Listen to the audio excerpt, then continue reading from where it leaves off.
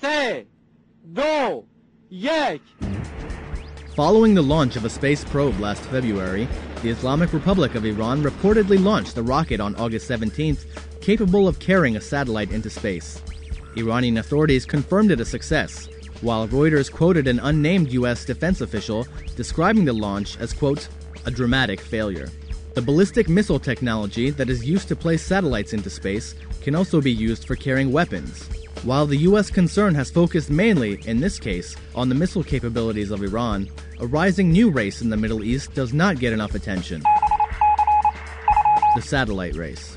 There are hundreds of spy and communication satellites in various orbits around the Earth, which enable the owners to see and hear all around the world. There are six types of spy satellites optical, infrared, radar, combo, signal, and ocean observation satellites. Each provides a different view of Earth. Most contain optics that enable close up, high resolution photography.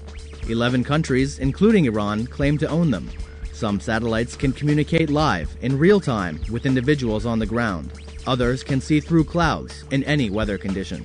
Some are so technologically advanced they allow nations to drop remote controlled bombs precisely on target.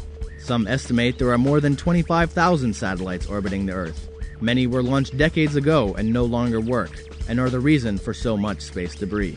Increasingly, private satellites are able to provide detailed images from anywhere on Earth. Companies such as Google even allow you to view the world at your fingertips.